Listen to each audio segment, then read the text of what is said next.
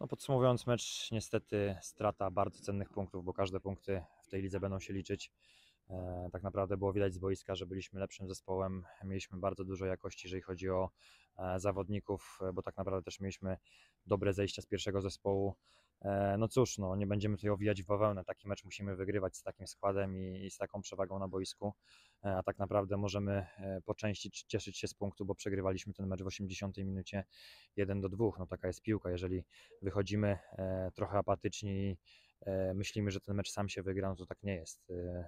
Także nic więcej nie mam do powiedzenia, bo, bo ta strata punktów bardzo boli. Musimy, musimy to też zanalizować i, i wyciągnąć wnioski, bo e, w przeszłości różne mecze się zdarzały i, i takie mecze też można przegrać, ale, ale styl szczególnie gdzieś tam, e, jeżeli chodzi o pierwszą połowę, nie mówię już o, e, o zaangażowaniu, bo to z zaangażowania e, nie można chłopakom odmówić, ale, e, ale już taka jakość e, samego wykończenia pod polem karnym, no tego brakowało. Zareagowaliśmy w przerwie trzema zmianami, nie lubię tego robić, ale ten impuls musieliśmy dać i myślę, że podziałało pod takim kątem, mm, jeżeli chodzi o, o stwarzanie sytuacji, no ale, ale nie wystarczyło jeszcze rzut karny przeciwko nam.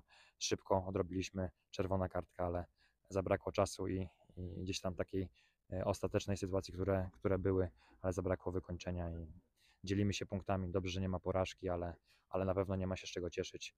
To tyle, dzięki.